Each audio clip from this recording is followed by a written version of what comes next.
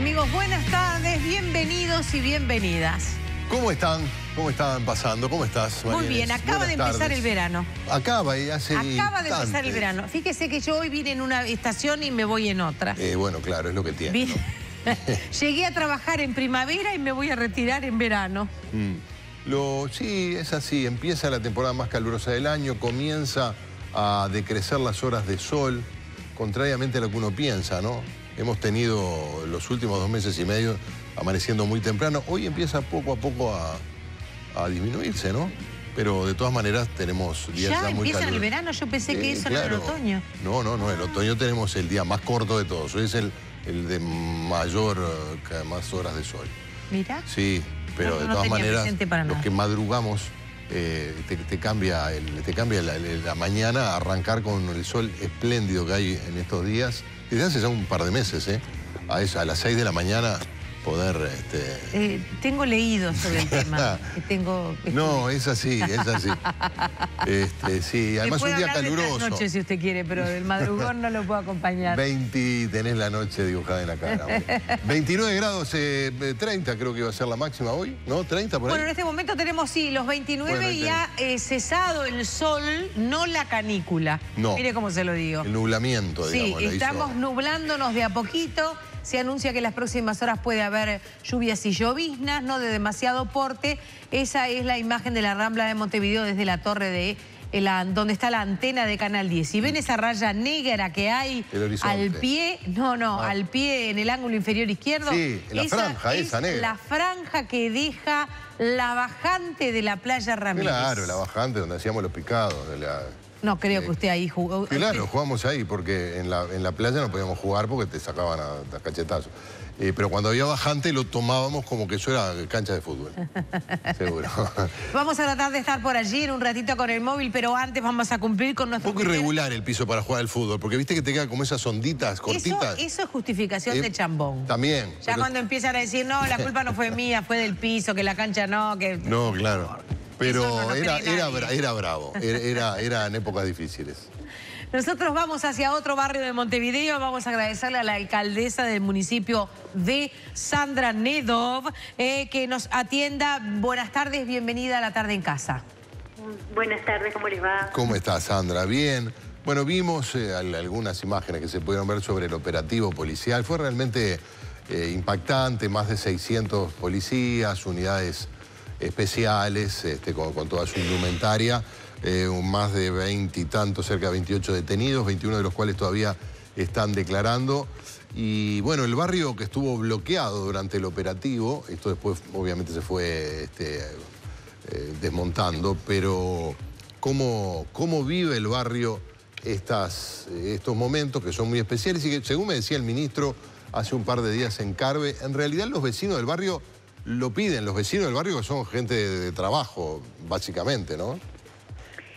Eh, sí, eh, hace más o menos un mes se había empezado a complicar más de lo normal el barrio, porque hay cosas que el barrio siempre tuvo sus complejidades, pero este, llegó un momento de noviembre en que a cualquier hora del día se cruzaban en motos, tiraban tiros, no, no había heridos ni, muertos, pero este, eso causa en la gente la, la preocupación de salgo o no salgo a la calle, voy o no a la parada del ómnibus. Incluso este, los servicios empezaron a ver resentidos, la policlínica, la escuela, este, porque la gente tenía temor de andar en la calle por esa cuestión que era como una cosa diferente para nosotros porque en general cuando este, había problemas era cuando los servicios estaban cerrados, ah, cuando la escuela ya, el horario de la tarde, ya se habían retirado. Y empezó a suceder que a mediodía, a cualquier hora, este, se cruzaban y se tiraban. Este, no pasó nada en concreto de que lastimaran a nadie de ninguna institución ni entre ellos, pero eso genera en los vecinos esa sensación de, miedo, de temor, este, de, por su vida, ¿no? Y, bueno, como yo creo que esto se desencadena de alguna manera era algo que se esperaba, ¿no?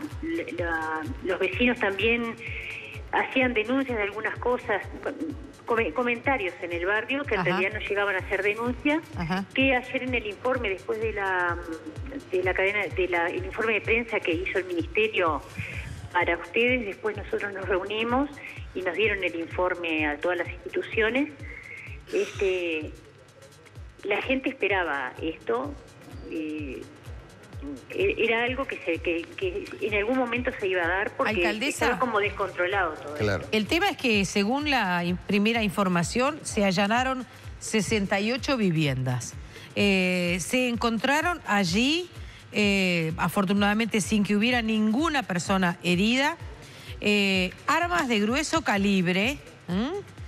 Había 28 personas que estaban requeridas por investigaciones previas y en curso.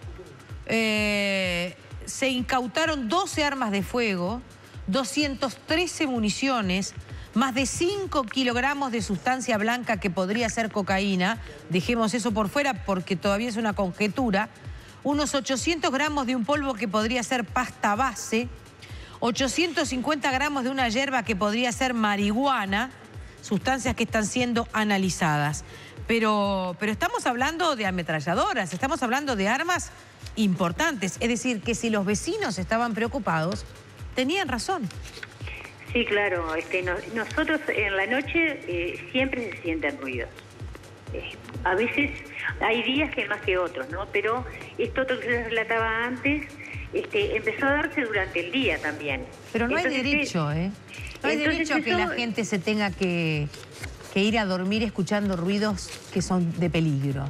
A nosotros de verdad eso nos tenía muy preocupados, sobre todo que la gente no pudiera acceder a los servicios que necesitan, porque este, nosotros en el centro cívico en general, eh, la demanda de la gente supera la, posibilidad de atención y muchas veces quedan números para después. Y no había empezado a pasar que este, la gente venía menos a la policlínica, al centro cívico, este, los, a los niños los habían empezado a retirar de la escuela este, los días que habían tiroteos en, horario de mediodía, ¿no?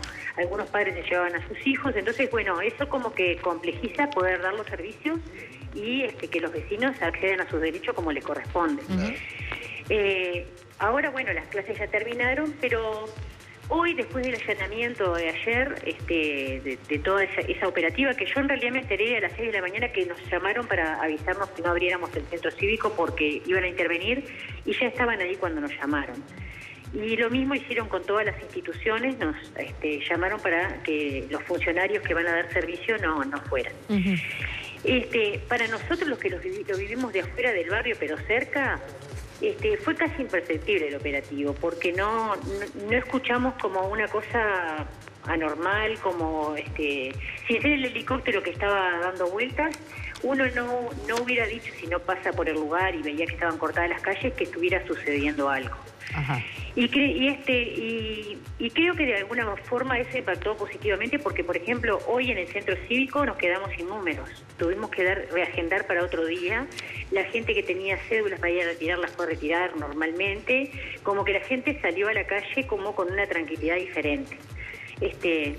Ahora, usted vio que las explicaciones que dio el señor ministro del Interior están relacionadas con la justicia y con la fiscalía. Claro, hubo, había 70 eh, pedidos de allanamiento, Ahí que la, policía no llegó a, tontas y locas, sino que fue a lugares específicos y además a cumplir como corresponde, por otra parte, con, con la debida orden judicial, ¿no?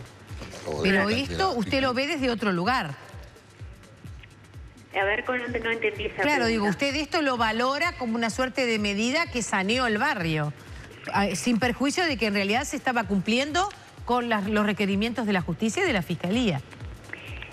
Claro, nosotros lo, que tenemos es los relatos de los vecinos, de, las cosas que suceden, de, ese sentimiento de, desprotección, de seguridad, de miedo de salir. Y hoy sentimos que este, inmediatamente después de la intervención, este, la gente como que volvió a salir como normalmente lo hacía. Este, porque nosotros en el centro cívico siempre teníamos, este, antes de abrir, cola de gente para, atenderse.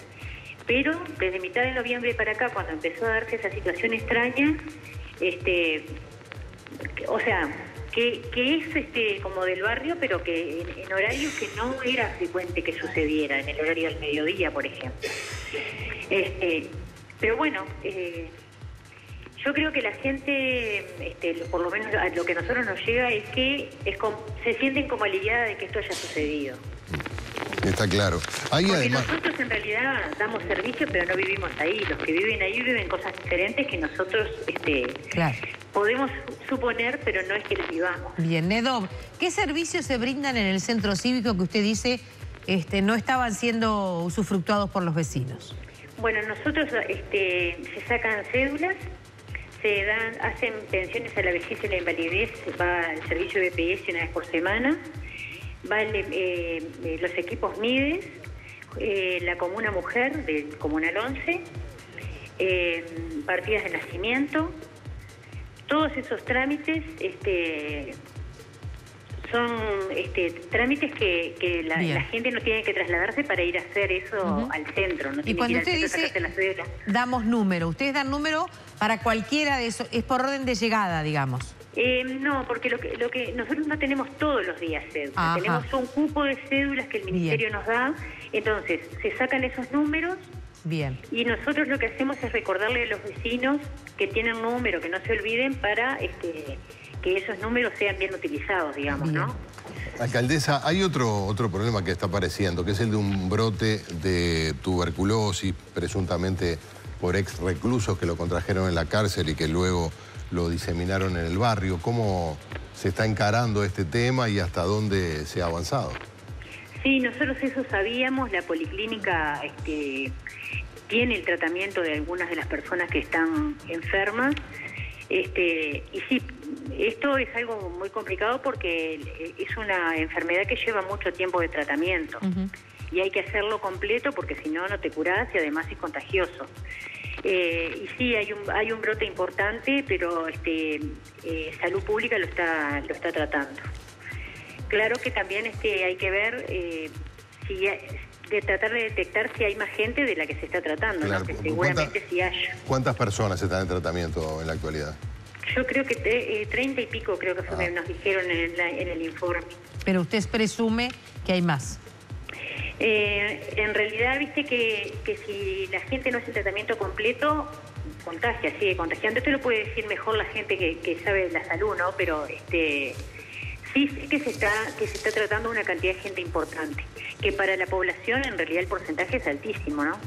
Claro, para la cantidad de la población del barrio. Sí. Eh, alcaldesa, le agradecemos mucho este contacto. Eh, usted dice que hoy se vive un día particularmente calmo y que la gente parece haber con énfasis retomado las actividades de una vida sana, cotidianas, ¿eh? como ir a hacer sus trámites, hacer sus mandados, sin perjuicio de que habrá gente que, bueno, serán familiares o vecinos de las personas que todavía están siendo investigadas. Sí, esa es la percepción que nosotros tenemos de los servicios que nosotros brindamos, que este, volvió a la normalidad la, la, la civilidad de la gente a hacer, a hacer los trámites que estaban acostumbrados a hacer. Bien, le agradecemos mucho el contacto. Recordamos que Subrayado consigna que hasta, la fe, hasta este momento hay 21 personas que permanecen detenidas y que declaran tras el operativo en Casaballe. Estoy tratando de recordar cómo se llamaba el operativo, porque tenía un nombre Mirador. propio. Mirador, Mirador. Milagro, me salía, digo, no, Milagro no era, Mirador, ahí está. Muchas gracias, alcaldesa, por este contacto. Eh, Bueno, gracias. Gracias, ¿eh? le agradecemos la posibilidad de, de hacerlo en tiempo real. Gracias. A usted.